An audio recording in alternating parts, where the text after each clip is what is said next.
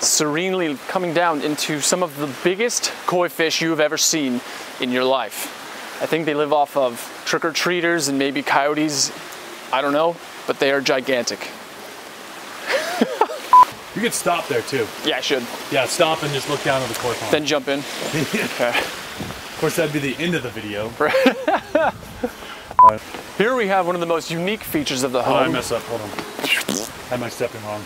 This five bedroom, four bathroom home was built in 1982. And it is goddamn gorgeous. this beautiful Sun Country model home was built in 1982, has five spacious bathrooms.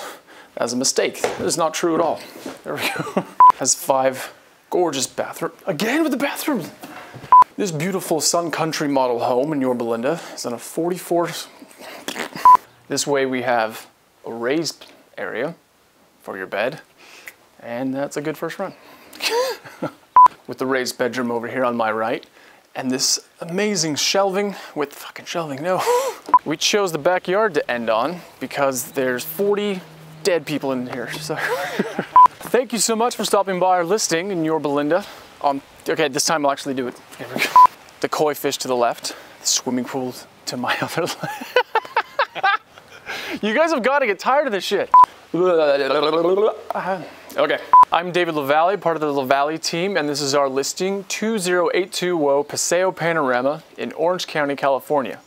Come on inside.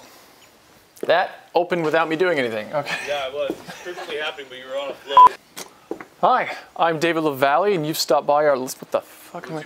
Yep, right in my face. Thank you so much for stopping by our listing at Paseo Panorama. I'm David LaVallee, and if you'd like to get your butt kicked, there we go.